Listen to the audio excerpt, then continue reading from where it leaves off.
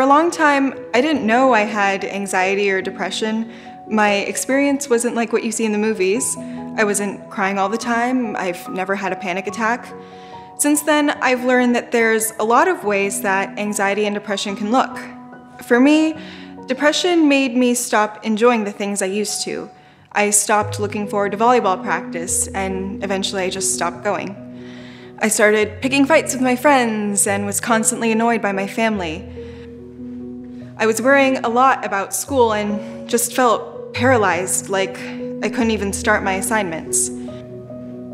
One time I had to write an essay for English, but I felt drained and it was impossible to start it. Every time I tried to work on it, I would end up watching YouTube on my phone or taking a nap. In the end, I wrote the essay right before it was due and got a D on it, which just proved what I thought, that I can't do anything right. Anxiety and depression are a lot more common than you might think. Almost everyone experiences worry or feeling down from time to time, but for some of us, it can really get in the way. Cognitive behavioral therapy, or CBT, teaches skills for overcoming anxiety and depression. Through CBT, I've learned that there's a relationship between my thoughts, feelings, and behaviors.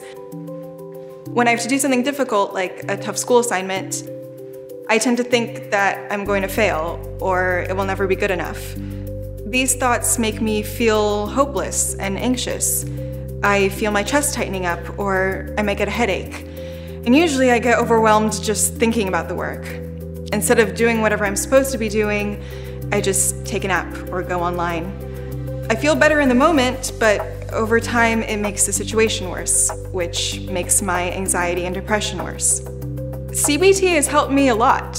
I've learned cognitive coping strategies, which help with my negative thinking. I've learned relaxation strategies like mindfulness and muscle relaxation to help with the headaches and the tightness in my chest. And I've also learned behavioral activation and exposure skills, which have gotten me back to doing important things like running, spending time with friends, and even finishing assignments on time.